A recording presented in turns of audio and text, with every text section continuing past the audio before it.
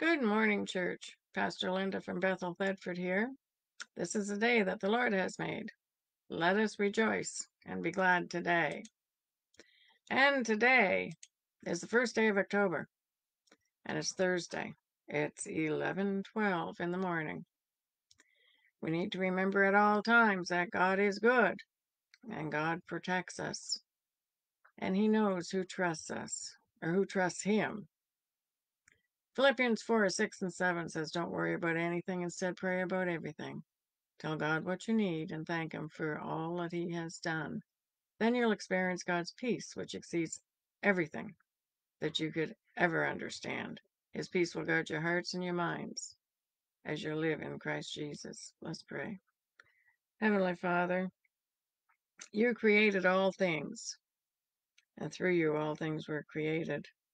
We thank you, Lord, for the love that you give to each and every one of us. We thank you, Lord, for creating us, for creating mankind.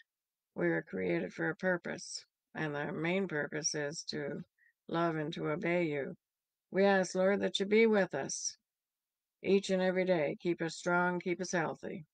In Jesus' name, amen. You shall love the Lord your God with all your heart, all your soul, all your strength, and with all your mind, and love your neighbor as yourself. In order to love people, you have to love God first, and you have to have God in your heart. The weather network today, it says it's 13 degrees out right now, and the high is going to be 15. There is a chance of thunderstorms later in the day. Um, for this afternoon, it's 40% chance. Tonight, it's up to 70% chance. The low tonight is going to be 7 degrees. Proverbs Proverbs 3, 5, and 6 says, Trust in the Lord with all your heart. Lean not on your own understanding. In all your ways, acknowledge Him, and He will direct your paths. That goes back to trusting God. Have faith in God, and He'll direct you in what you should be doing and how you should be doing it. Lambton Shores. The uh, confirmed cases remain at 346. Deaths are still at 25. Confirmed cases is up one. It's at 319. So the active cases in Sarnia Lambton is down to two. Praise the Lord. Ontario report 52,248. That's an increase of 538. Remember the days when it was less than 100 a day? The deaths are up to 2,851. Confirmed cases recovered 44,422. The number of people hospitalized is up again today and it's at 162.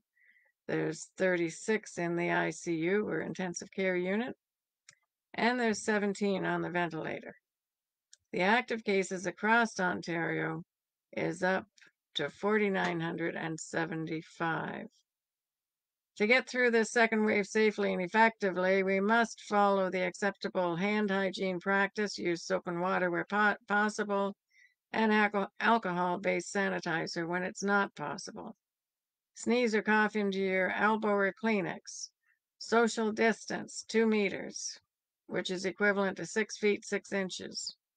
Wear a face mask or protective covering if you cannot social distance. Get your flu shot when it becomes available. Social gathering sizes, remember, have been reduced. It's back down to 10 people inside and a maximum of 25 people outside.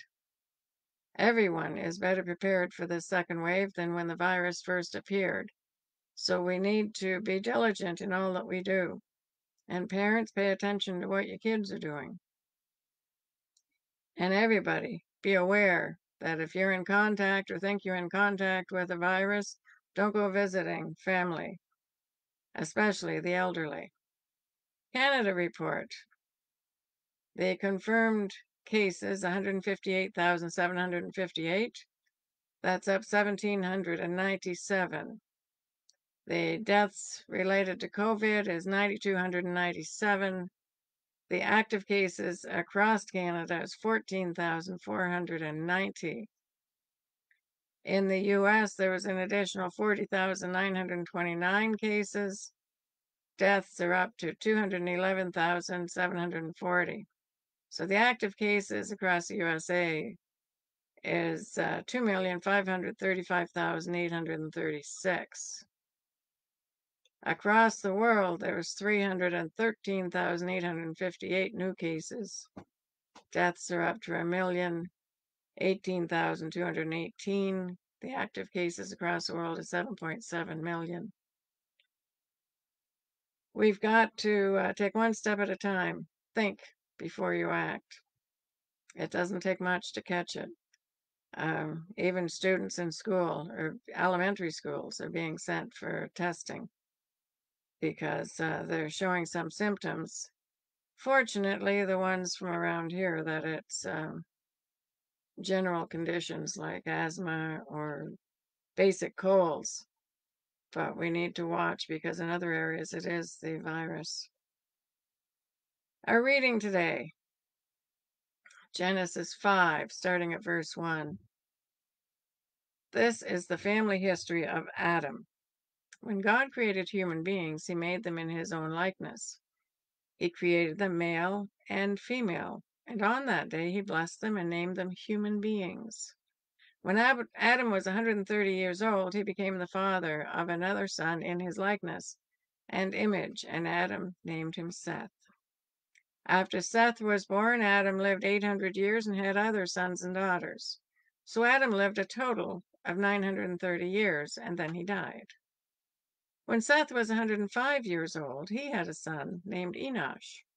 After Enosh was born, Seth lived 807 years and had other sons and daughters. So Seth lived a total of 912 years. Then he died. When Enosh was 90 years old, he had a son named Kenan.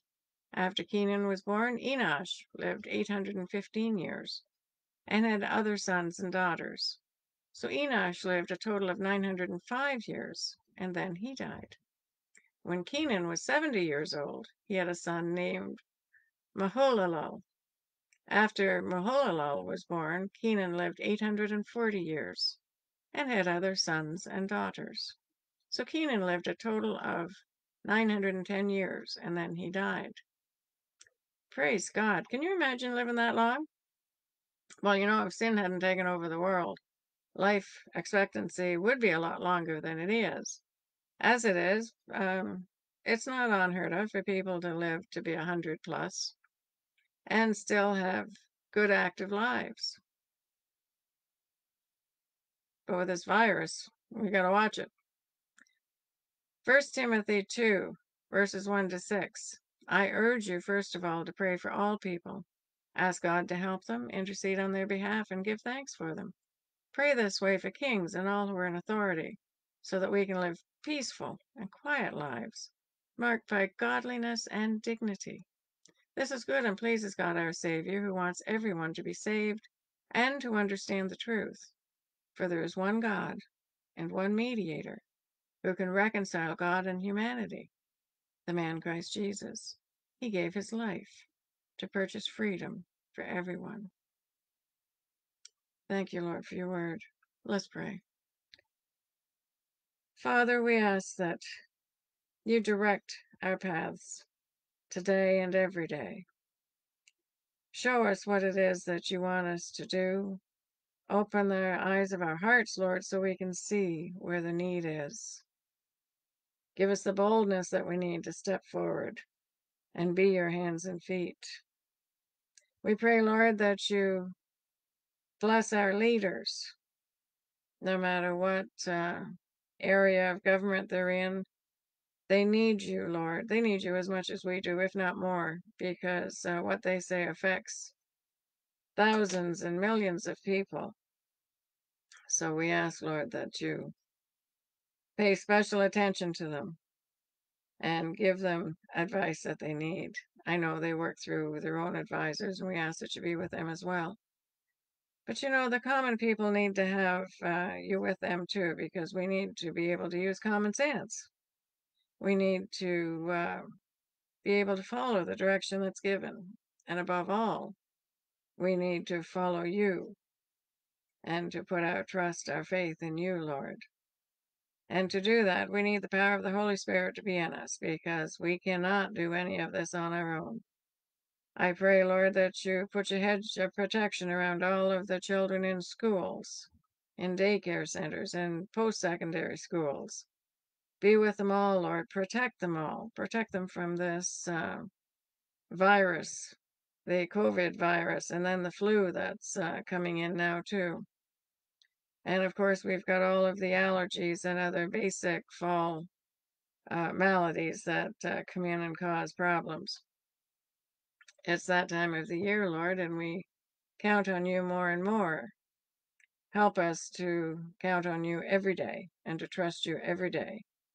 Increase our faith, Lord. Be with us, each and every one of us. Help us to reach out in your name. Help us to proclaim your word. Help us to be bold and be courageous as you've directed so many times. In Jesus' name we pray. Amen. Amen. Ephesians 4 3 says, You are joined together with peace through the Spirit, so make every effort to continue together in this way. We know that we can rely on the Word of God and we know where to find that Word. But we have to dedicate time to be spending in that word. The word of God is life and it changes lives. Isaiah 41:10 says, "Don't worry because I am with you. Don't be afraid because I am your God. I will make you strong and help you. I will support you with my right hand that saves you." Hold each other up in prayer. Prayer is one of the most valuable tools that you have, and it's the one of the most effective tools that you have. And God hears your prayers and He answers them. Treat everyone with love, compassion, understanding. Treat them with respect. Doesn't matter who they are, you need to respect them and you need to be kind. And whatever you do, do it all for the glory of God. That's 1 Corinthians 10:31. It's biblical, so follow it.